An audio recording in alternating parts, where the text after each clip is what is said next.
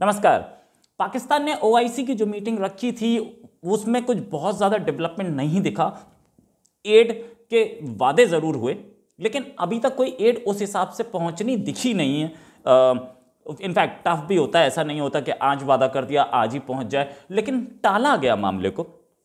अगले साल तक टल चुका है मामला जो कि वहाँ मीटिंग हुई थी उसमें ये बोला गया कि हम एक हम एक कमेटी बनाएँगे कमेटी मतलब एक ऑर्गेनाइजेशन बनाएँगे ह्यूमैनिटेरियन एड के लिए जो कि अगले साल तक अगले साल के स्टार्टिंग में बन जानी चाहिए और उसके बाद हम लोग इसके थ्रू एड भेजना शुरू करेंगे। आ, ये 57 देशों को बुलाया था और सत्तावन देशों में से सिर्फ़ 20 नहीं अपने फॉरेन मिनिस्टर भेजे। बाकी कईयों ने तो अपने एम्बेसडर भेज दिए।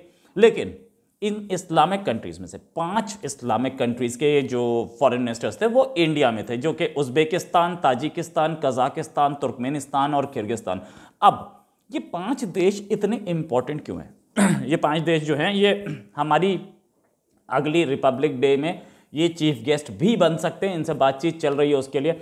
लेकिन ये पाँच देश इतने इंपॉर्टेंट क्यों हैं? ये पाँच देश इतने इंपॉर्टेंट इसलिए हैं कि ये सारे के सारे देश अफ़गानिस्तान से सटे हुए हैं उसके करीबी देश हैं उस उसके उसके बॉर्डर सटता है और इधर से एड बड़े आराम से जा सकती है। अगर वो पाँच वहाँ नहीं थे तो पाकिस्तान से ही एड जा सकती है अफ़गानिस्तान पे या डायरेक्टली अफ़गानिस्तान लैंड करे। पाकिस्तान पे कोई ट्रस्ट नहीं करना चाह रहा है सच तो ये है। और आ, तुर्की और मलेशिया के साथ मिल करके जो इस्लामिक लीडरशिप स्थापित करना चाह रहा था पाकिस्तान उसको भी एक करारा झटका यहाँ लगा। द रीज़न बींग आपके साथ इस्लामिक कंट्रीज़ ही नहीं खड़े थे। आपकी ओआईसी में आए नहीं सारे नहीं आए पाँच यहाँ पहुँच गए और बाकियों ने अभी अपने फॉरेन मिनिस्टर नहीं भेजे।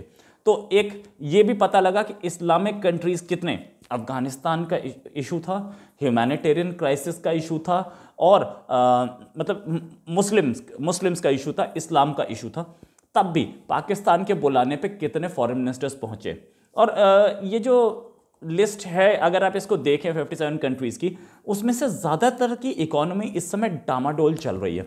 इकोनॉमी की सिचुएशन ख़राब है, इसलिए ज़्यादातर एड देने की पोजीशन में नहीं है। हाँ एड देने की पोजीशन में कतर तो दे ही रहा था, कतर ने तो किया ही। और सऊदी अरेबिया ने भी दिया, लेकिन सऊदी अरेबिया जो है वो पहले से दे रहा था, इससे पहले से दे रहा था।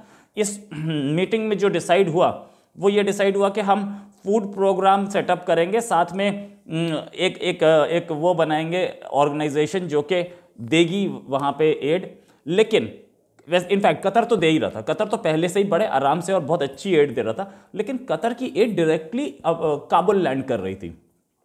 इस मीटिंग से दो दिन पहले सऊदी अरेबिया की एड भी डायरेक्टली काबुल लैंड करी।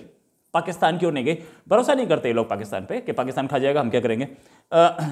छः एयरक्राफ्ट काबुल लैंड किए और उसमें ह्यूमैनिटेरियन एड थी और वो चली गई अफ़गानिस्तान के पास।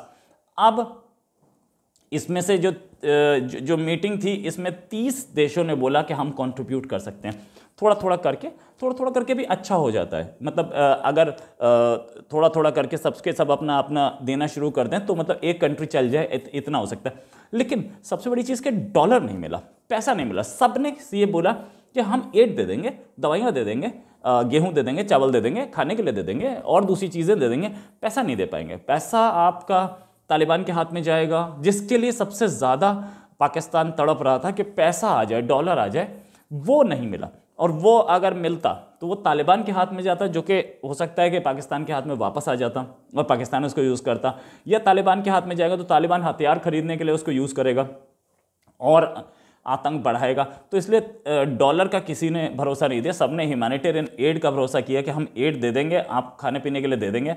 इससे ज़्यादा हम कुछ ना करने के मूड में हैं। लेकिन अभी ये प्रोसेस बहुत दूर है, क्योंकि अभी वो जो ऑर्गेनाइजेशन है, वो बननी बाकी है और ऑर्गेनाइजेशन के एक चीफ अपॉइंट हो गए हैं नो डाउट अबाउट इट लेकिन ऑर्गेनाइजेशन बननी बाकी है और उसमें कौन कौन मेंबर्स होंगे और कैसे उसका, क्या उसका स्वरूप होगा, वो अभी बाकी है। और उसके बाद वो एड डायरेक्टली किसके हाथ में जाएगी? या ये ऑर्गेनाइजेशन करेगी?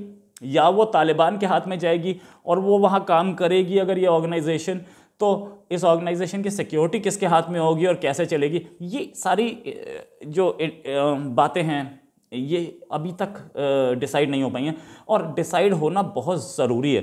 तभी ये एड प्रॉपरली डिस्ट्रीब्यूट होगी और इसके साथ बाकी इस्लामिक कंट्रीज़ को भी ये डर है कि कहीं हमारी एड का मिसयूज़ ना हो जाए।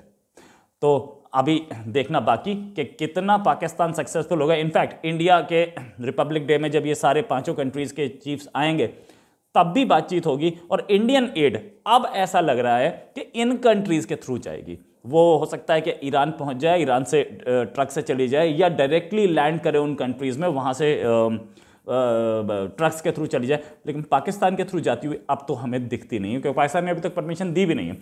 अगर हम लोग पाकिस्तान और कुछ दिन परमिशन नहीं देता तो हम इन कंट्रीज़ के थ्रू एड दे सकते हैं। इसी के साथ एक और खबर के साथ फिर हाजिर होंगे। नमस्कार, जय हिंद।